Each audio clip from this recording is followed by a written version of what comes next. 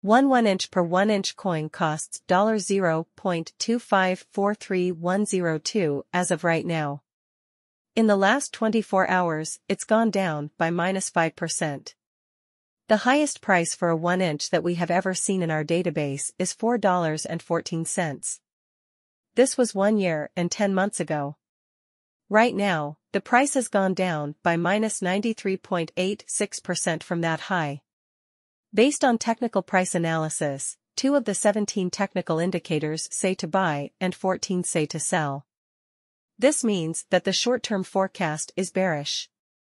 The first big uptrend resistance for 1 inch is at $0.3111555, and it needs to close above that level to keep going up. The bottom support level is at $0.2535406, which is where it needs to stay in order to keep going up.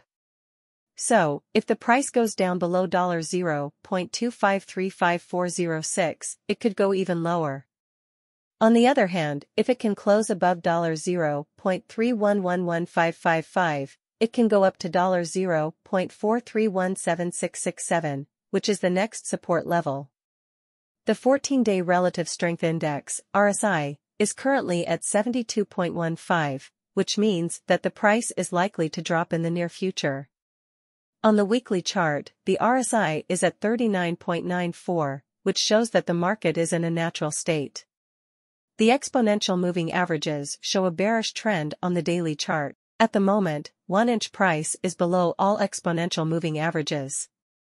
In the past, the price of 1 inch was higher on the last day of October one out of every two times, and it was lower one out of every two times. In the last three years, January has been the best month for 1 inch. Once, the price of 1 inch at the end of January was higher than at the beginning of the month. The worst month is November. Two out of three times, the price was lower at the end of November than it was at the beginning of the month. Find out more by looking at the monthly results. Based on our 1-inch price forecast, the price of 1 inch could reach $0.2848530 in the next 10 days. The long-term price forecast for 2025 is $1.77, and the price forecast for 2030 is $3.12. Taking into account all of the past highs and predictions for smaller time frames, the prediction for 2040 is $9.03.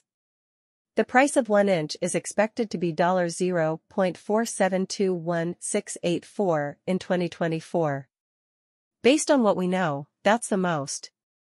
1 inch for the next few days. Price day. 05 Thursday, October 5, 2023 $0.2725116.